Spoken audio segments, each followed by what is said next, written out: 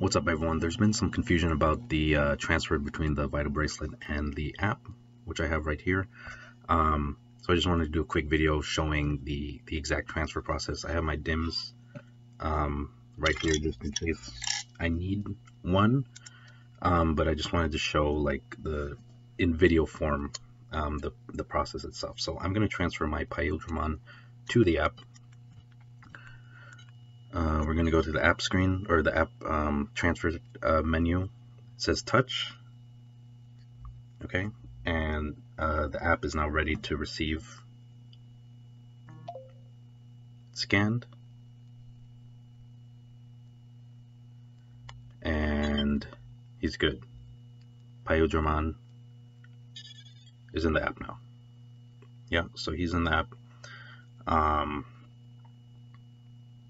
he's in the app. I'll do whatever you can do whatever.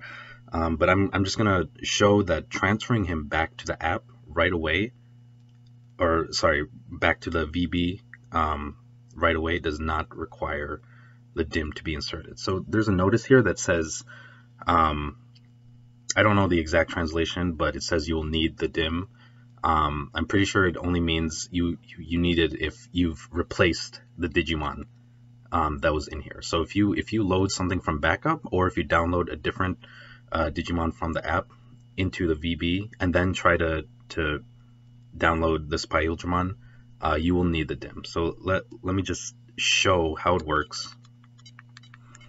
Um, sending him directly back without without doing anything. So uh, this reads DIM card check. Uh, this is a special mission confirmation, blah blah blah items. So now uh, it's ready to send. So this is this is telling the DIM which DIM card, or I'm sorry, this is telling the Vital Bracelet which DIM card it needs um, to be loaded. Since that DIM card has already been loaded, it's the most recent one, it will go straight away to the touch screen. And now this screen um, is for the app to check that the correct DIM is loaded. And it is. And now this is the final confirmation to send Paildramon back. No dim needed. He's back. Yeah. So I'm gonna do it. Um,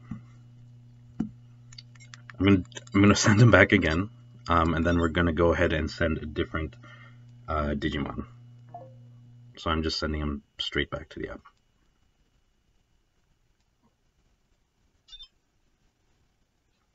Okay, he's back in that. And we're going to load one of my Digimon from um, the backup. So we're going to get uh, my Omegamon Zwart out. And we're going to try to send him back to the uh, Vital Bracelet. So now it says I will need Black Roar because I this Omegamon is from Black Roar. Um, so it's going to do, jeez, it's going to do the Okay, there we go. It's going to do the dim card check. App or app menu. I'm going to send it back.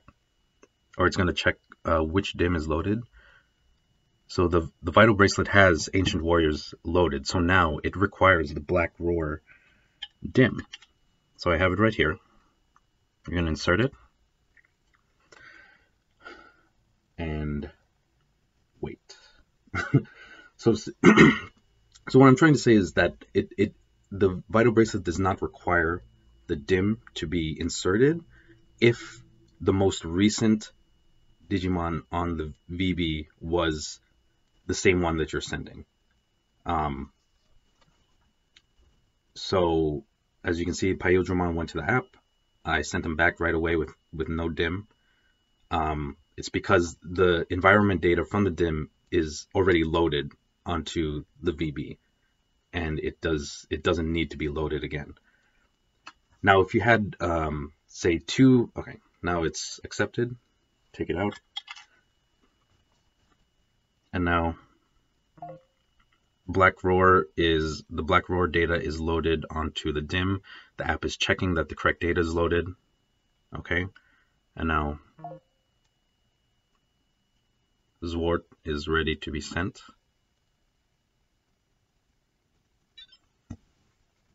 And Zwart is now on the VB. Cool. So we're going to do something, um, I'm going to put them into backup. So Zwart's going in backup. Okay, and then we're going to get Paildramon back up. Paildramon is out. We're going to try to send him back to the app as well. So let's do that. This is the dim card check. So this is, again, this is the app, or sorry, this is the VB, or this is the app telling the VB which dim it needs to be loaded. So now it requires Ancient Warriors to be loaded. So we, we go ahead and load it. So that first screen, the dim card check, it is the app telling the VB which dim needs to be loaded, if any. Um, so if that data that it sends about which dim is required, it matches what's already on here, then it won't need it at all, as demonstrated from the, the first transfer.